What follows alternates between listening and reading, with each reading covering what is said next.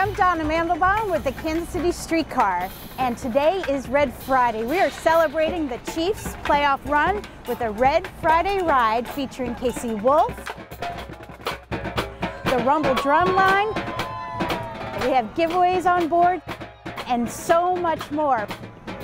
We are so excited to cheer our Chiefs on, so go Chiefs Kingdom!